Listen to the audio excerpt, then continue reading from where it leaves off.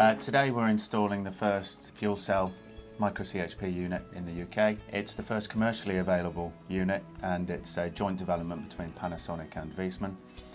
It's also been MCS approved so we'll benefit from any subsidies that are available.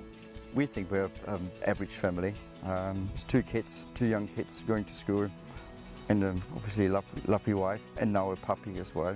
So the house is just a normal house. Um, 100 square meter uh, in floor space area. So I think from the energy consumption point of view and so on, we are average.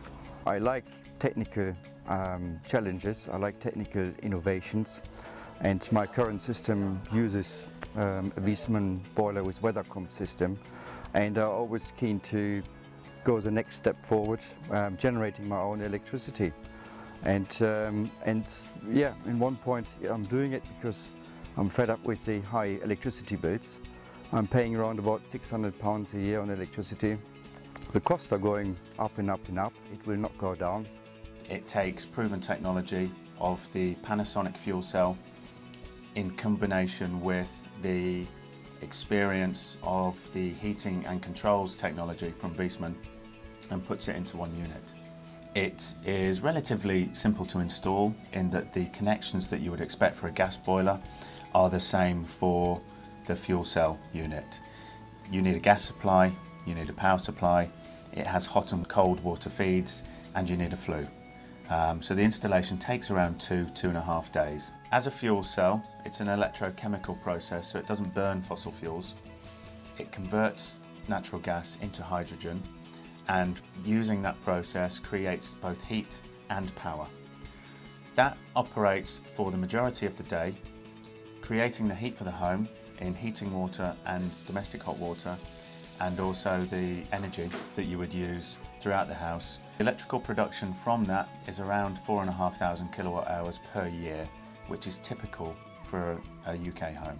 To get the same equivalent electricity from solar photovoltaics as from the fuel cell, we would need approximately 30 square metres, which is equivalent to the whole roof from a fairly well-sized property. The backup boiler is there because there are around 30 days in the year, which are the coldest days of the year, and for those, we need peak demand.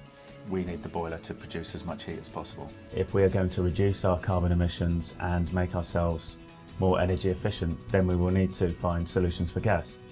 This unit will save homeowners around 36% on their energy utility costs.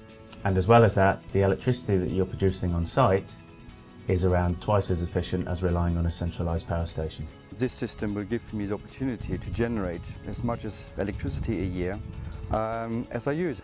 The other thing is obviously I want to do something for the environment. Of course, some of the electricity will be exported into the grid on times when I don't use the electricity as much, so the fuel cell produces more than, than I need. Overall, throughout the year, it balances itself out, so um, it's even.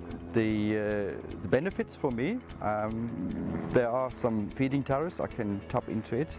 So utilities are providing me with a feed-in tariff for every kilowatt hour produced electricity of around about 15 pence per kilowatt hour I get uh, from utilities, which is very, very good. So from that point of view, I'm expecting an annual saving of around six, seven hundred pounds.